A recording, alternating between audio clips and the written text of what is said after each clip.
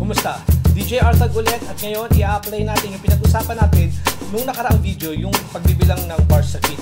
Ngayon magku-Q&A tayo. Ang Q&A ay question and answer ng dalawang DJs. Usually sagutan siya eh.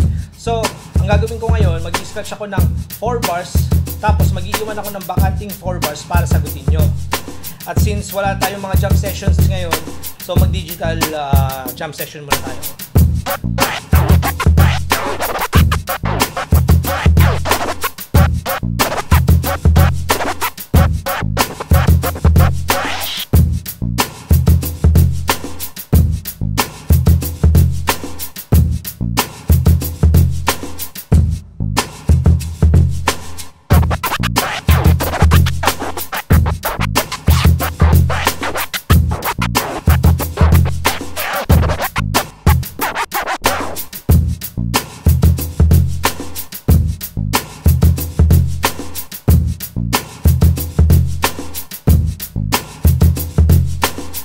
Oh,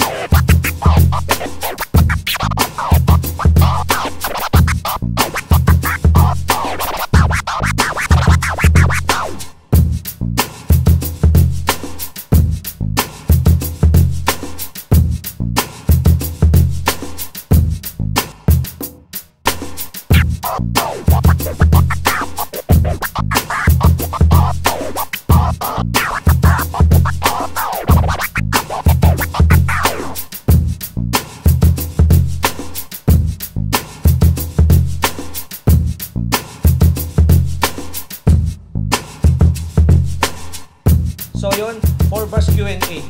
Sana nagustuhan nyo. Kung nagustuhan nyo, palike na rin. Tapos sa mga hindi pa nagsasubscribe, subscribe na lang. Peace out. DJ Artag.